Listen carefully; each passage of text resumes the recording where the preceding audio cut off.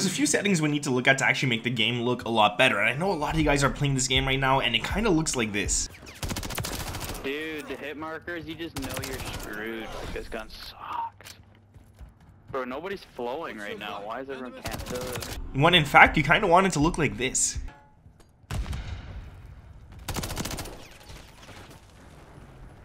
Beside you, Flash, you left.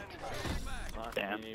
So today I just want to make a quick short video to show you guys how to change that because it's something that it's really depressing to look at if you guys don't change. So we're going to go into the settings and there's a few settings that we got to change here. The first one is actually going to be in the graphics, but then we're going to get out of graphics after, which you might think, why would color settings be out of graphics? They are, guys. The first one here is going to be in the quality. You're going to want to set that render resolution up to about 105. Now, the reason you want this higher is because it makes the game look a lot clearer, a lot crisper, and it just helps out with those colors. It helps them pop a lot nicer. Now, that's not the only setting we need to work about for colors. There's a, few different ones as well, but we got to turn some stuff off as well while looking at that.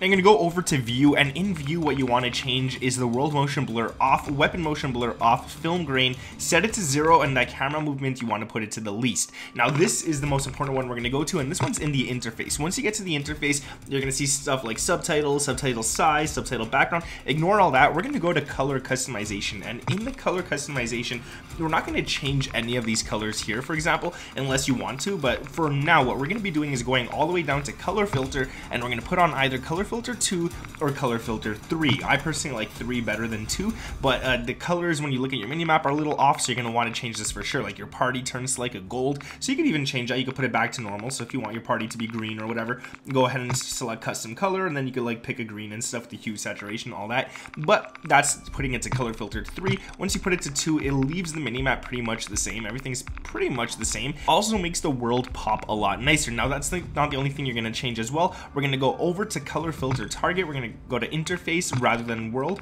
The interface is going to look nice. You can change the world as well. The world is definitely something you want to work on. But what I would really suggest is setting it to both. Now, the reason you want to set it to both is so that these colors could pop a lot nicer when you're in the actual game. And then what you're going to do here is you're going to put the world color intensity to 100 rather than 75. I think when you get the game starts off at 75 or something, you go pop this all the way up and it's going to look really, really nice. And then the last one, the most important one as well, is going to be in the graphics. We're going to go here. We're going to go down to brightness in the graphics and then we're going to select this right here.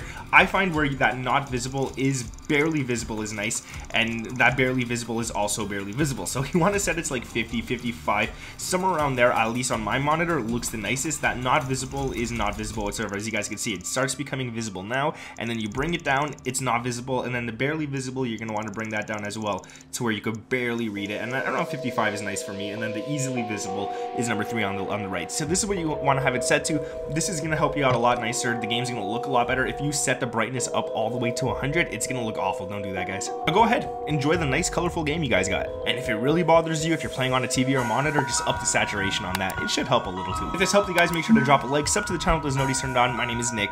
Thank you for watching, and I'll catch you in the next one. Peace.